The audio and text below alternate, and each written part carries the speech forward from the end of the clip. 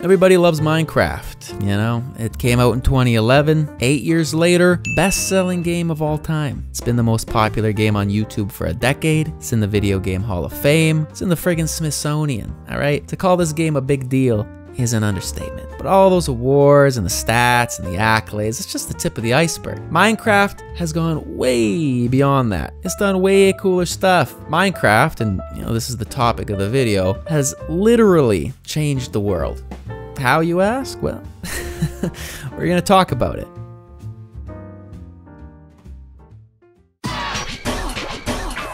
Now, there are a lot of terrible governments out there, you know? And I don't mean they're like raising your taxes by 2% this year kind of thing. I mean, you criticize them and now you're being assassinated in a Turkish embassy kind of thing. Not fun. And as you can imagine, Getting information out in these countries, not easy. That is, until the Uncensored Library, a Minecraft map designed specifically to get around that uh, pesky little censorship thing. In countries where the governments don't like their citizens being a little meanies to them, hurting their feelings, countries like Mexico, Russia, Vietnam, Saudi Arabia, Egypt, released by Reporters Without Borders, in their own words. In many countries, the internet is controlled by oppressive regimes. The media is censored, and websites are blocked. But Minecraft is still accessible. We are using this loophole to bypass internet censorship and make independent information available again. A massive library facilitating banned information and news articles from around the globe that anyone can access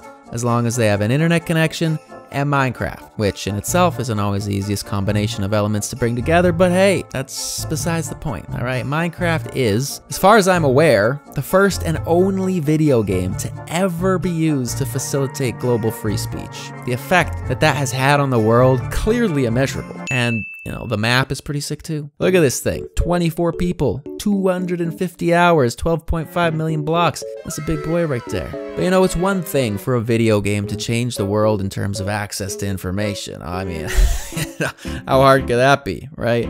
But what about changing the world in a physical sense?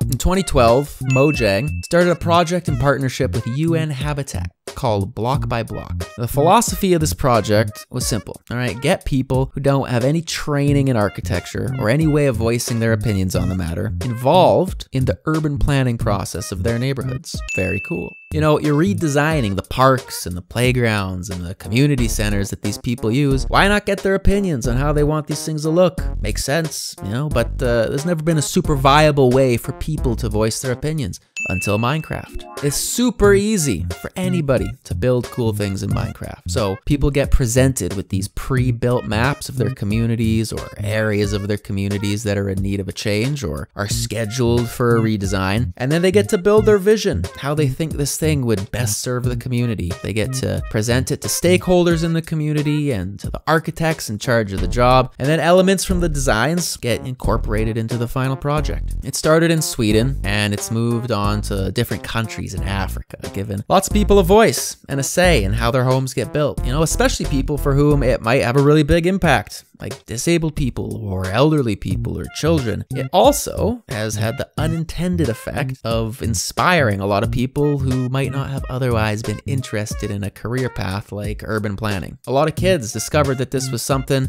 that they were passionate about through the program, which is really cool. And this isn't the only time that Minecraft has been used like this either. I bet you didn't know there was a full-size, one-to-one scale recreation of Denmark in Minecraft did ya? In 2014, the Danish Geodata Agency generated the entire country in Minecraft based off their geodata. Buildings and all, the whole thing. I don't know exactly what that means or how that works, how you generate a Minecraft map off of geodata, but they did it. And similar to how Block by Block taught a lot of people and you know especially children about urban planning, this project was meant to teach kids about Denmark and about uh, geographical and topographical data sets A topic which, uh, you know, I know must be absolutely riveting for children. Fascinating, entirely. You know, teaching those things through the medium of a video game, I guess they had a little more success, obviously. Generally, the map was used as a resource for kids to learn about their country, though, and its geography. As an aside, the map was raided. It got bombed all to hell, and an American flag was raised. God bless America,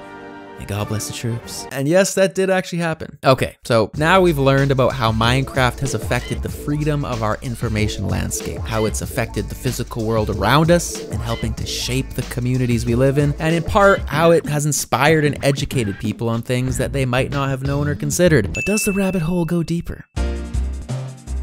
We've talked about how some of these things that Minecraft has done has inspired and educated children, but uh, Minecraft is used very specifically for educating kids through Minecraft EDU. Formed in 2011, it introduced Minecraft into schools. It's a specialized version of the game that allows teachers access to control things for their class, as you would imagine a teacher would probably have to do when giving 30 kids freedom to screw around in a video game. But uh, it's actually pretty crazy. It's been used to teach history, English, science, just everything. This guy over here, he built a map where you can learn about different geographical formations by exploring them in real time. Same map, you can fly on over and learn about real world historical landmarks like the Lighthouse of Alexandria or different building and irrigation styles in ancient Rome. This guy designed a massive animal cell for kids to fly around and explore the biology of. Students come together to learn about farming and construction, coding, there's even beekeeping lessons. You know, you can fly around inside a hive learn about bees and bee things that bees do, like, uh, you know, making honey and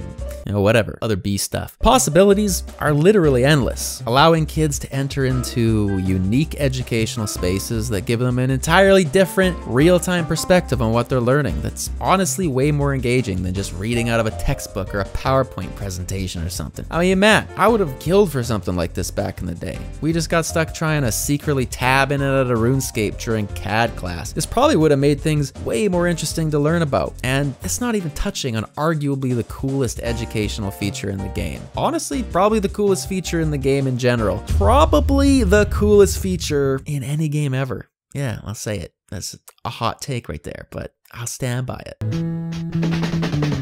Redstone, a very simple game mechanic with very insane possibilities. For those of you who don't know, Redstone acts like a wire through which power can flow. You can send power through the wire with a lever or a pressure plate or any number of other methods. You can power things like pistons or dispensers or sensors that activate when they come in contact with other objects and so on and there's lots of stuff. There are hours, honestly, of Minecraft tutorials explaining this stuff. So this is just a super, super simple rundown of its most basic functionality, but it essentially works like how electricity works in the real world. Now that's kinda neat, I hear you say. You could probably build cool things, like a trapdoor or some lights or something with that. Very cute. And uh, yes, it is very cute. You could build those things, or you could also build a literal computer capable of playing Tetris on. Because what is a computer if not a complicated series of electrical inputs and outputs? And I'm sure there's probably a lot more to it than that, but whatever a computer is composed of, Minecraft Redstone is capable of constructing it. You could build a graphing calculator, a self automated walking house, a machine capable of playing Minecraft itself. Just, you know, think about that for a second. All right, a machine capable of playing Minecraft inside of Minecraft. We are so close to the Matrix that black trench coats are to be coming back into style any day now. People have been able to take this incredibly simple mechanic and craft some of the most mind-boggling inventions that you could ever hope to see realized in a video game. The level of creativity inspired by this function and by this game is astounding, and it seems with every passing year that someone builds something even cooler. There's really no end to it. The game is truly amazing. And, you know, besides the standard fare that you may expect of one of the most popular games of all time, sales and awards and conventions, all that stuff I mentioned at the beginning of the video, Minecraft has gone far beyond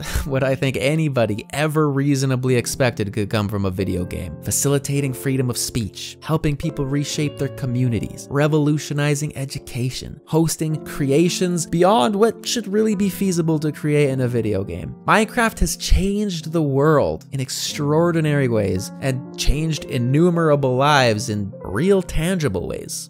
And that is how Minecraft changed the world. Thank you for sticking around. I hope you enjoyed the video, and uh, I hope to see you on the next one. Love ya. Bye bye.